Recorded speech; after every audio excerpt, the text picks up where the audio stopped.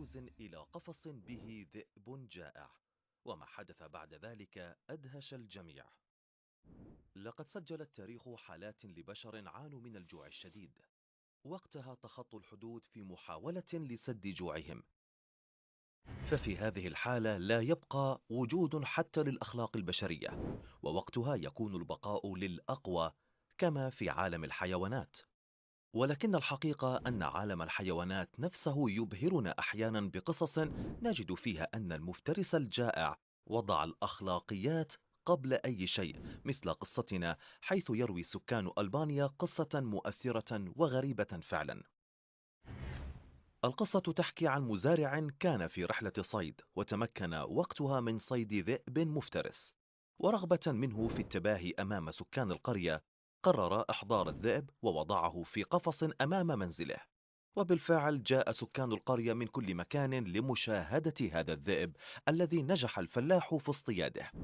ولكن الذئب جائع للغاية ومن الممكن أن يموت من الجوع. كان الفلاح في البداية يمنحه قطعا من اللحم الطازج ولكن وجد أن الأمر مكلف للغاية فقرر التخلص من حيواناته الموجودة بلا فائدة. أي الحيوانات العجوزة أو المريضة. بالفعل كان أول ضحية هو حمار عجوز. شعر أنه عبء عليه وقرر التخلص منه ووضعه في المساء للذئب ليفترسه. ومن المفترض أن يكفي لحم الحمار الذئب عدة أيام. ولكن لدهشة الفلاح تفاجأ في الصباح أن الحمار ما زال في مكانه سليما معافى.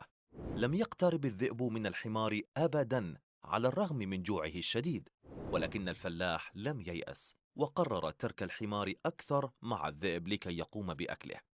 ولكن مرت الأيام بلا فائدة وما زال الاثنان في نفس القفص. لم يحاول الذئب الاقتراب من الحمار يبدو أنه رحم ضعفه وكبر سنه وقرر تركه يموت في سلام أو ربما شموخه منعه من افتراس ضحية مسكينة وضعيفة مثل الحمار العجوز أو ربما جمعتهم صداقة وألفة في هذا الوضع السيء الذي وضع فيه الاثنان معا.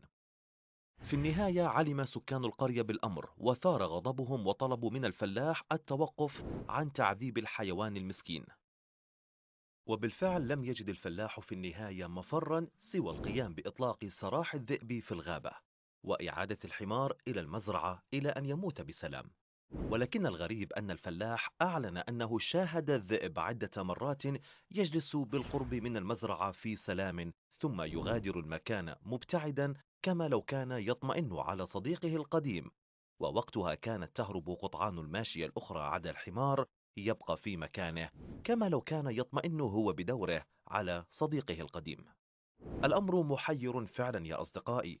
والعلاقة بينهم غريبة فأحدهم مخلوق ليأكل الآخر ومن الغريب أن يعفو المفترس عن ضحيته وهو في أسوأ حالات جوعه. ولكن يبدو أنه تكونت صداقة بينهم خاصة أنه جمع بينهم حظهم التعيس الذي أوقعهم بين أيدي هذا البشري عديم الرحمة.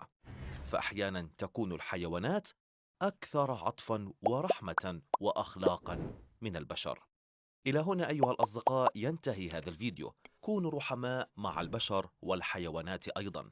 إلى اللقاء في الفيديو القادم. مع السلامة